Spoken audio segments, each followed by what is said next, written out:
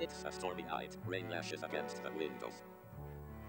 Inside a warm room, several affluent friends gather to discuss their various AI personal assistants. Does anyone else here ever thank their AI devices for their help? One of them raises the question. A discussion ensues. Some confess that they do, indeed, thank their artificial assistants. While others frown upon this sentimentality towards machine as oddly anthropomorphic.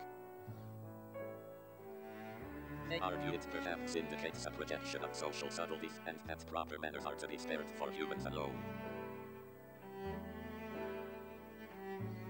Conversely, some feel that attributing a sense of class to AI suggests a demarcation between them and his workers. Thank them either is perhaps bridges that subtle gap between employer and servant, between users and the used. A door slams, a bolt of light illuminates the room, and the dialogue continues. Questioning the boundary lines between human courtesies, social graces, and machine interactions.